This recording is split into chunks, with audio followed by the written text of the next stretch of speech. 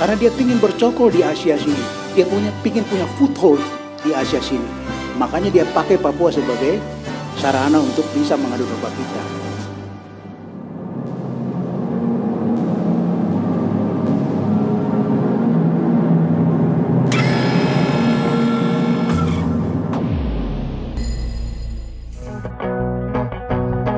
Benny Wenda seorang warga negara Inggris yang berasal dari Papua, Indonesia, telah melakukan deklarasi kemerdekaan dirinya dan pengikutnya sesama pelarian politik dan kriminal yang tinggal di Inggris, pada tanggal 1 Desember 2020 di suatu tempat yang sampai saat ini belum diketahui dengan pasti. Dikutip dari CNN News,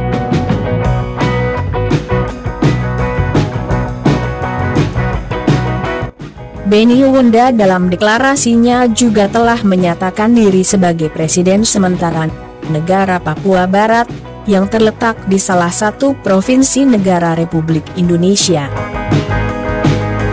Terkait hal tersebut, Kepala Penerangan Komando Gabungan Wilayah Pertahanan, Kolgap Wilan 3, Kolonel CZTIGN Suryastawa memastikan, saat ini situasi dan kondisi di wilayah Papua Barat dan Papua kondusif. Deklarasi Beni Wenda sama sekali tidak mempengaruhi situasi Kamtipmas di Papua. Suryastawa menambahkan, biarlah menjadi urusan penegak hukum, karena sudah mengarah pelanggaran undang-undang makar. Kepala Biro Penerangan Masyarakat Divisi Humas Polri Brigjen Pol Awi Setiono, di kantor Barreskrim Polri, Jakarta, Rabu, 2 Desember 2020, mengatakan, pernyataan Beni Wenda mengenai pembentukan pemerintahan sementara Papua Barat tersebut adalah sebagai bentuk upaya provokasi dan propaganda keberadaan dan status kewarganegaraan Beni Wenda tidak mempunyai kompetensi untuk mengumumkan deklarasi kemerdekaan.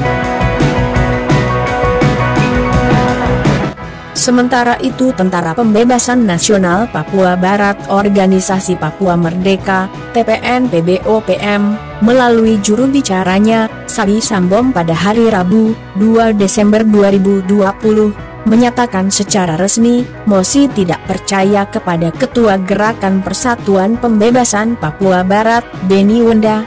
Karena deklarasi kemerdekaan Papua Barat sekaligus pernyataan Beni Wenda sebagai Presiden sementara Papua Barat. Beni Wenda adalah warga negara Inggris. Menurut hukum internasional bahwa warga negara asing tidak bisa menjadi Presiden Republik Papua Barat, dan juga Beni itu bekerja untuk kepentingan kapitalis asing Uni Eropa, Amerika dan Australia. TPN PBOPM tidak akan berkompromi dengan Beni atas deklarasi tersebut kata Sabi Sambom.